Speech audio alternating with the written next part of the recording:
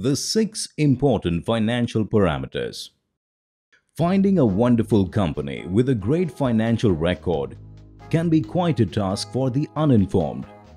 The flood of numbers in a company's annual report can tie a layman up in knots. The simplest way to cut through the confusion would be to focus on only six crucial parameters.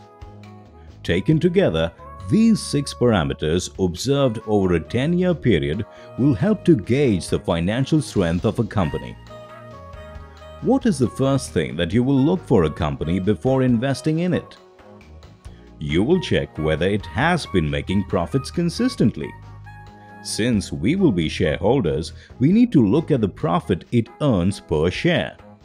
Hence, the first parameter to look for is EPS, earnings per share. EPS is arrived at by dividing the net profit by the number of shares. However, it is said cash is king. Hence, to verify that profits earned by the company are leading to an inflow of cash, you have to look at the second parameter, that is, operating cash flows.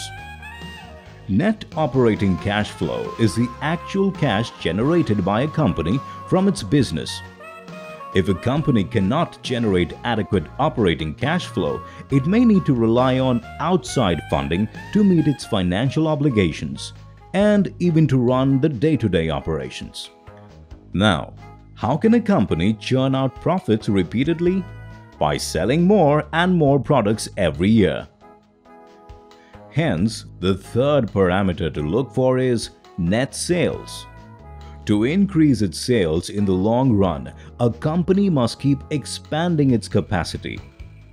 The fourth parameter, book value per share or BVPS, tells you how much the company is investing in expanding its capacity. A company is like a machine, using money to make more money and machines are rated by their efficiency. Companies produce profits using the capital invested, both equity and debt. Return on invested capital or ROIC will tell you how efficiently a company is using its capital. This is the fifth parameter. But borrowing money can sometimes lead to difficulties in repayment which can be catastrophic. The sixth parameter, debt to net profit ratio, tells us the number of years it will take the company to repay its debt. But how can we tell if these six parameters are great or not? What value should these parameters have? We have found that all the best companies meet a certain standard, which we call the gold standard.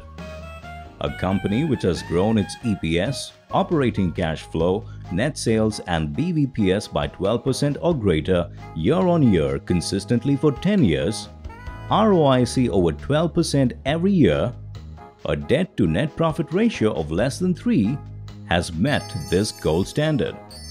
Apart from these, you can also look at the company's past performance with regards to its profit margins, OPM and NPM, return on equity ROE debt on equity ratio, and the working capital management.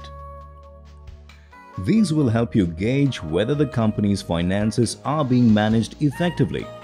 Now that you have found a company with a solid financial track record, you are ready to look at its competitive strengths.